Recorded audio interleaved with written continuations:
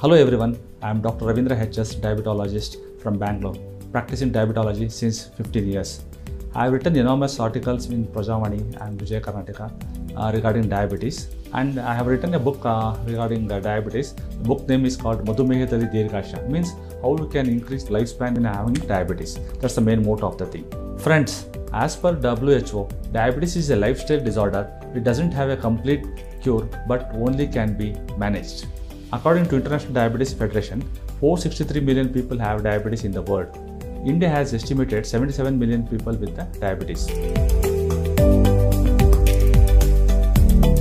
Family history, obesity, unhealthy dietary habit, impaired glucose tolerance, high blood pressure, cholesterol, age wise, and sedentary lifestyle.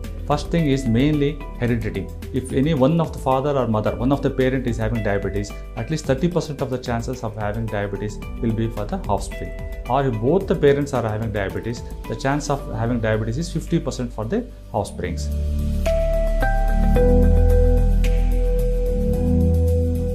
Types of diabetes are type 1 diabetes, type 2 diabetes, and gestation diabetes mellitus.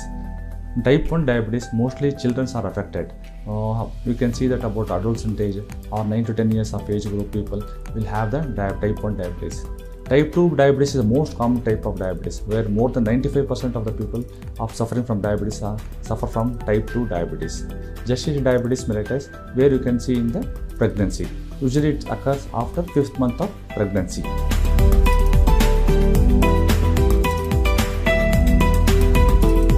Symptoms of diabetes mainly the patients will feel the polydipsia means excess of thirst. Patient will not be satisfied of drinking water. He'll be having the continuous uh, urge to have water.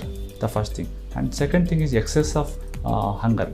Even if you had uh, taken food for half an hour back, you'll feel once again the hungerness. The next symptom is polyuria, where the patient or the person have the lot of tendency to pass urine frequently. This is called polyuria. The fourth factor is excessive fatigue. You'll have a lot of tiredness even if he is at rest. That's one of the main important part. Uh, and uh, one of the main important uh, symptom is loss of weight. A patient can uh, lose up to 5 to 10 kgs uh, if undiagnosed diabetes. And one of the most important symptom is delay in wound healing and tingling in hands and feet.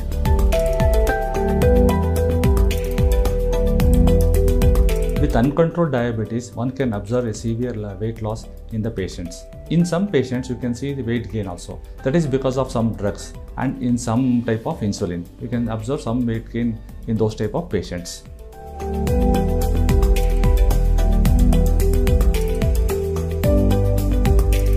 Yes, uncontrollable sugar level can lead to conditions like cardiovascular disorder, overweight, obesity, neuropathy, nephropathy, retinopathy, foot damage or leg amputations, sexual disorders, and depressions. Heart attacks are more common in diabetic people. They are affected twice more than the normal people. And uh, mainly in renal problem or kidney problem. They are affected four times more than the normal type of people.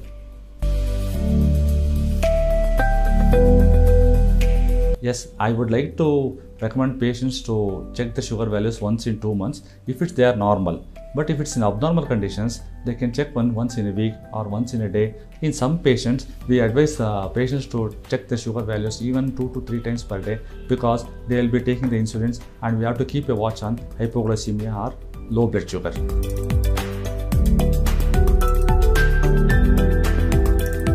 Yes, scientists have linked several gene mutations to a higher diabetes risk.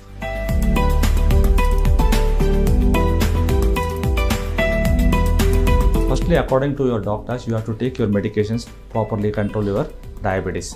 The second thing, you have to do exercise, yoga, or uh, walking at least for 40 minutes per day. That depends upon their age. If the age of the patient is more than 50 plus, at least 40 minutes they can walk. And to control the diabetes, the main thing is diet. Keep a watch on your diet. Don't take sweets. Don't take the junk foods. Don't take high calorie foods. I think if you uh, practice these three things, you can control your diabetes very well. Educate yourself about diabetes. Get your medications and meal plan organized.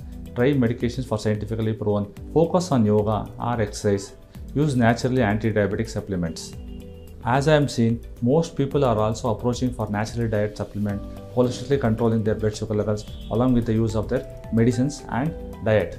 People are used to consume caffeine based beverages on daily basis which mainly includes coffee and tea. How about having a coffee without caffeine which gives us holistic health benefits for controlling your blood sugar? iCoffee is a proven dietary supplement which time tested herbal extract of a plant called Salacia which is known as antioxidant to regulate the blood sugar level and traditionally proven and validated scientifically. I consume iCoffee and also recommend everyone to consume these beverages on a daily basis and to support healthy blood sugar level along with your medications and also to follow a good lifestyle and a good diet.